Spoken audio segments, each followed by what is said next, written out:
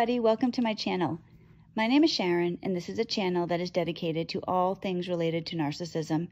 I've been married to a covert narcissist for almost 20 years. I'm separated from him now, and what I do with this channel is I use my real life experiences to get information out there to people about what narcissism really is, what it looks like, what it does to you, and what it does to your family. Before I begin today's video, I would just like to say Happy New Year to everybody. I hope everybody watching has a happy, blessed, prosperous, and wonderful 2021. In today's video, I'm going to be talking about narcissists and the police. If you are in a relationship with a narcissist, especially at the end of the relationship where you want to leave the relationship, where you know who this person is, and you are trying to leave the relationship, you are at a dangerous point in the relationship. Narcissists don't lose. They play games all the time. And if they know that you know who they are and that you want to leave, they're going to cause you misery. They always do this. And they have the absolute potential to call the police on you, to try to get you arrested, to try to have your kids taken away from you. Never underestimate a narcissist. If you're in a relationship with a narcissist, you are in an abusive relationship. It doesn't matter if they're physically assaulting you or not. Emotional abuse is real abuse. And on average, it takes somebody six attempts to leave an abusive relationship, and that includes emotional abuse during that time, that's the most dangerous time of the relationship because when you're with an abuser, you're with an unstable person. This is not somebody that you're going to amicably end a relationship with and just wish each other well and go on with your life. This is somebody that wants to hurt you, that gets a high off hurting you. They have never loved you, they're using you. And if you dare leave them, they're going to have a narcissistic injury and they will attempt to cause you problems like 100% of the time. So in that time when you're at, you know, the back and forth part of the relationship, that six attempts, this is when if you've ever heard stories about people who are physically abused and they'll leave, come back, leave, come back, and then they're killed. And people like us will look at the situation and say, how could they do that? Why would they possibly go back? That's crazy. That's us. When you're trying to leave and you come back, trying to leave, come back, it happens in physical and emotional abusive relationships. It's the most dangerous time. So I'm not saying you shouldn't leave. You should leave, but you need to be aware of what a narcissist is capable of. And in narcissists, one advantage that victims of narcissistic abuse have is that once you know who the person is, you can predict their behavior. All narcissists are capable of doing this. Do not make the mistake of thinking, well, my narcissist would never do that. My husband, my wife would never do that. They'll never do it until they do. So I'll tell you what happened to me, and I'll tell you what I've heard has happened to other people, and then talk about what you can do. So in December of 2019, well, I guess from August to December of 2019, this was my back and forth. Kicked him out, let him come back. Kicked him out, let him come back. This kept kept happening.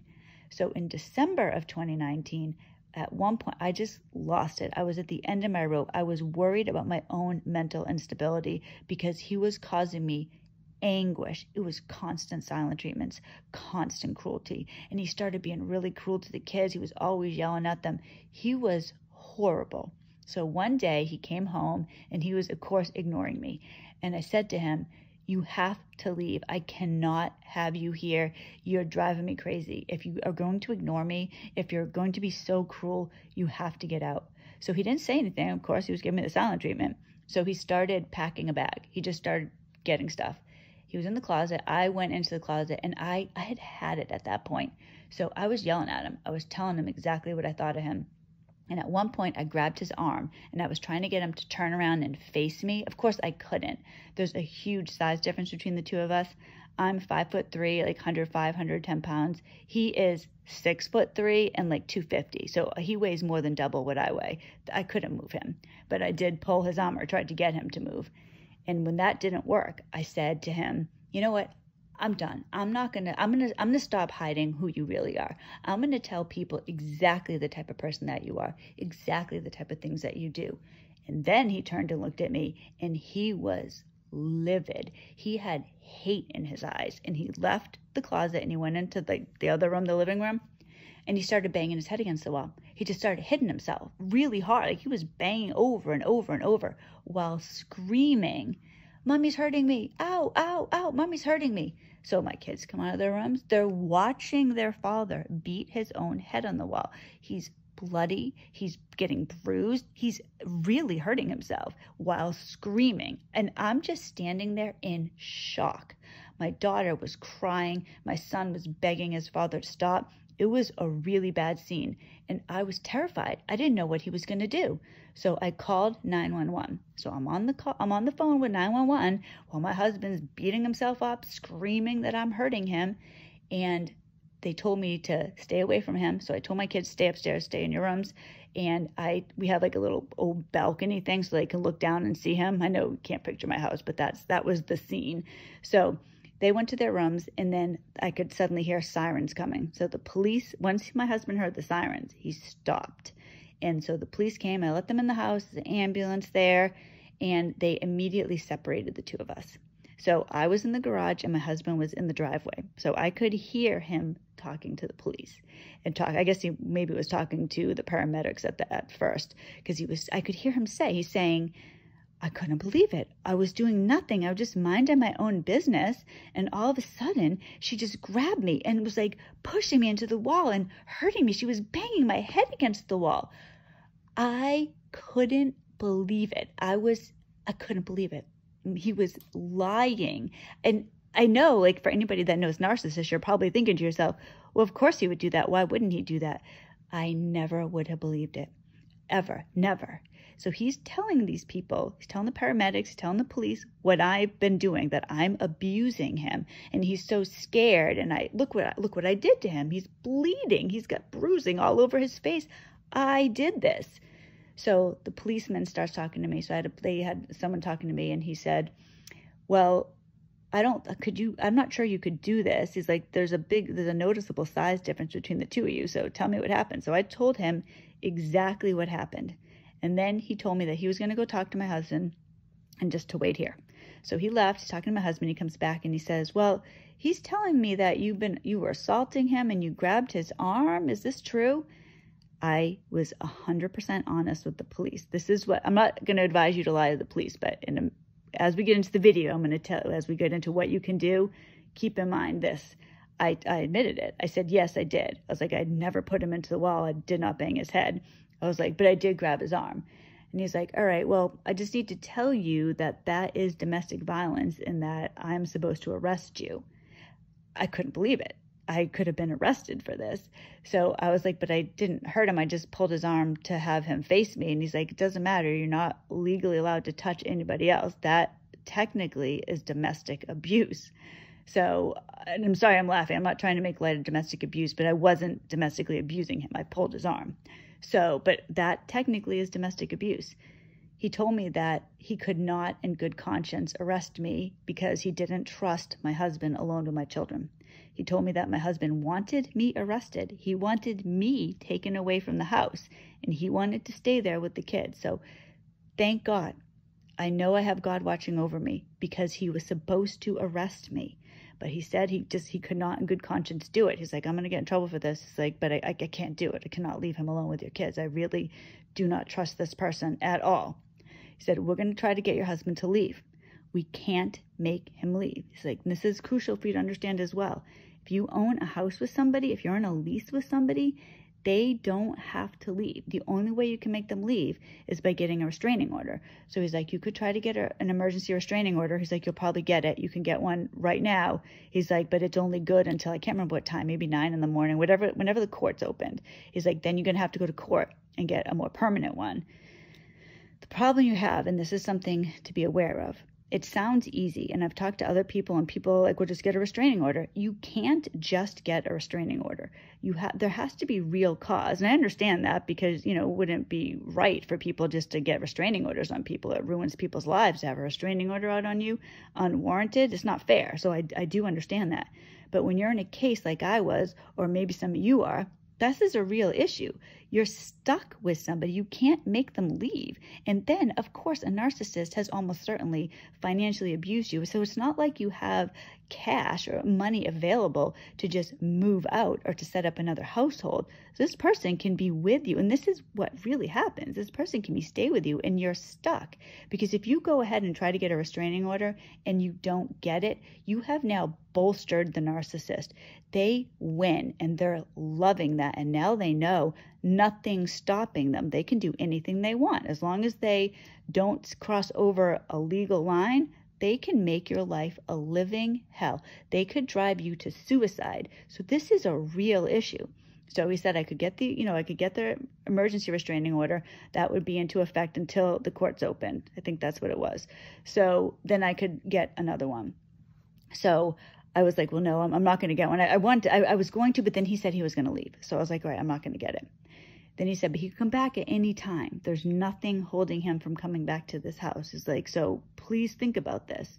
But I knew he wasn't domestically, he wasn't assaulting me. He wasn't physically violent. I didn't think I had a leg to stand on getting a restraining order. Then, so he, he left. Uh, they got him out of there. He refused medical treatment. After they said they weren't going to arrest me, he, he left. Actually, you know what? I should go back for a second. He didn't leave right away. There's actually more to the story now that I think about it they brought him back into the house. They they went with him as he went around the house so he could pack things to leave. While he was packing things to leave, he started accusing me of theft. He was telling the police, I mean, this is all lies. He's telling the police that I was stealing his mail from him, that he wasn't able to get mail. I was stealing all his mail. What had happened is we had had a snowstorm recently, and there was like the the way the, the mailman was horrible he wasn't delivering the mail because we didn't have we had too much snow in front of the mailbox so his truck couldn't get in front of it. So he was, I found this out later. He wasn't delivering mail. So we weren't getting mail. My husband said I was stealing the mail. It wasn't true. We weren't getting mail because the snowstorm that had happened a few days ago. But according to him, I was stealing his mail. Then he started telling the police that it's so horrible that he has to leave because he has a heart condition and he's really sick and he doesn't have any family nearby. He doesn't have any friends he can go to. And it's so unfair that I'm trying to hurt him. You know, there's all lies. Then I noticed that I didn't have my phone. So I was looking around for my phone and then I asked him, I was like, Do you have my phone? And he pulled it out of his pocket. He had tried to steal my phone. Later, that was a big issue. My husband was wildly angry with me about this because he said to me, How dare you? How dare you have to bring that up right in front of the police? That made me look bad, right? He stole my phone, but it made, and it made him look bad, but it was my fault. He tells me, I was going to put it in the mailbox. I was going to leave it for you. I wasn't going to, I was just taking it for a little while. I mean, this is the mindset they have. So finally he left. Once he left, I, like, just the floodgates opened. I was hyperventilating. I was crying. I couldn't stop. Like, I was under complete control while he was there. And I just, it just, it just opened. I couldn't stop. So the police didn't want to leave because I was so upset. So they were trying to get someone to come over the house, but I didn't want to tell anybody I had had this terrible issue. I didn't want to call any of my friends and have them come over and know that this had happened. So they called my pastor for me. And this man was so wonderful. He talked to me on the phone. He got me calmed down. He got me to a point where I could function again. And then I was going to, he told me, no, I'll see you tomorrow. We'll talk about this. It's going to be all right. So I calmed down. And the police were wonderful. They were like, why don't you just hang out with your kids, maybe watch a movie? I mean, they were really good to me. So everything was all right. And before they left, police officers said to me, look, hopefully this won't happen, but I just, I need to tell you that because your husband accused you of domestic violence and we know he didn't do it, he's like, but there is the accusation, Child Protective Services might get in touch with you. So he left. Next day, Child Protective Services got in touch with me I can't. So I'm already going through this traumatic event, and, you know he was lying. He was causing all this, all these, all these problems. This is what it's so crucial to understand. He didn't care. He's not coming to his senses. He's happy about this. So I get this call from Child Protective Services. So I'm talking to this woman from Child Protective Services. They had to meet my children. I can't remember now if it was within 24 hours or 48 hours. They had to. I think it was 24 hours. They had to meet my kids and interview them. That was unbelievably traumatic. So had to talk to my kids. I had to tell them they had to speak to this person who we knew had the power to take them away. It was very scary. So I had to clean my whole house. I mean, I was making everything perfect. I was sick. I was so upset. I was so stressed out. So this woman from Child Protective Services came over. Now, she was very kind. She was very nice. She was very gentle. She read me the police report, wanted to see if everything was accurate on the police report, and it was. It was everything that had happened. So it was, there was, it, you know, it said right in the police report that they believed me, but they still had to do this. I had to have them call two people. I had to have two people interviewed by Child Protective Services because I was accused of domestic violence. They needed character witnesses, essentially. So I had, so one person was my pastor. He had known about this. And this is where I don't, you know, I know not everybody believes in God, but I really believe that God has been protecting me in this. About six months earlier, now I had been confiding to my pastor about some of this, and this is something I'm going to talk about in a few minutes about things that you can do. And he set me up with another woman at the church whose husband had been abusing her in the past, and she had gotten out of the relationship. And he suggested I meet with her and talk to her. I did. I didn't want to. Like I, when he told me that, I really wanted to just be. like, I'm not going to talk to her, but I did, and she was my other witness. If I hadn't spoken to her, and she completely understood, if I hadn't spoken to her, I would have had to get somebody involved that had no idea what was happening in this relationship. That's more trauma on top of everything else. It took two months for them to clear me. Two long months. I didn't know what was happening, what was going to happen with my kids. I'm getting calls from Child Protective Services every so often because they told me that I shouldn't have my husband at the house. He shouldn't be at the house. So, and he wasn't. He he he still hasn't come back. He's he's gone. But they would call me every once in a while to check in and make sure he wasn't at the house. It was traumatic. Finally, so it wasn't until February that I got cleared of abuse when he had tried to get me arrested. If they had Uh, you know, and remember, like I had pulled him. So technically, I did physically abuse him. I did physically assault him. They could have taken my kids away. This is a real thing. So this really happened. And since this has happened, I have heard of many other cases where other people have had similar instances, but they've had it worse. I have heard about people that have actually gotten arrested. Remember, the policeman was supposed to arrest me, and I know if I had been arrested, if I had been taken away, he would have slept just fine in bed that night. He would have ignored the kids, whatever. He wouldn't have comforted them at all the mother's in jail. He doesn't care. He would have slept just fine. He wasn't going to get me out. He wasn't going to renege on what he said. This has happened to other people where they're in jail and now all of a sudden their spouse is alone with their kids. Or now they have to go to anger management classes. They have to miss work and they have to get lawyers, and that costs a lot of money because when I when I was looking into getting a restraining order, when I was wondering if that's what I should do, because I didn't know if he was going to try to come back, it was going to cost me three thousand dollars, not to get the restraining order, but to hire the lawyer, just to hire the lawyer. And you know, and she said, you know, if he because he my husband said that he was going to stay away from the house. She's like, well, if he said he's going to stay away from the house, of course he hasn't. He's actually come and hung out in the backyard. I'll just see him randomly.